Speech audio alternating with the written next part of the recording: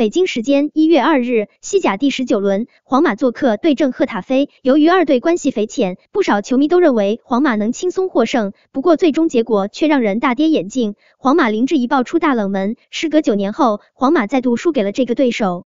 因为众所周知的原因，此役皇马多名球员无法出场，特别是维尼修斯缺席，让皇马边路实力大减。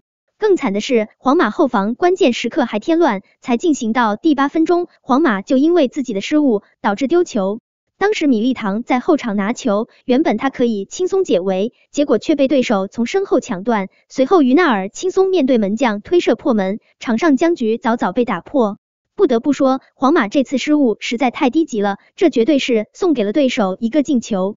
第十七分钟，皇马差点扳平比分。他们在前场连续传递，随后莫德里奇推射，结果却击中横梁，运气确实差了一点。下半场，安切洛蒂早早就换上了阿扎尔和马塞洛等巨星，很显然，安帅对上半场皇马左路的表现非常不满。第六十七分钟，皇马又差点扳平比分，马塞洛在禁区内横传，本泽马直接推射，结果被对手球员头球解围。其实这次进攻，本泽马确实贪功了。当时巴斯克斯在禁区内已经空了，如果本泽马做球的话，相信队友进球概率更大。射门被挡出之后，本泽马也立马向队友示意道歉。之后皇马虽然继续进攻，但是始终无法进球，不得不在客场零比一爆冷输给对手。自从二零一二至二零一三赛季客场一比二输给对手之后，皇马连续十五场西甲对阵赫塔菲不败，直到今天输球，皇马绝对是创造了九年的耻辱记录。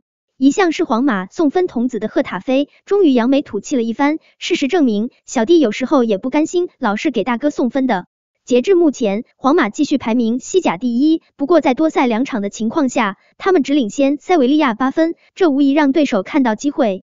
本赛季，塞维利亚是皇马争冠最强的对手。这家西甲劲旅在欧冠已经出局，如果他们放弃欧联杯，专心踢联赛的话，随时有可能威胁皇马的夺冠大计。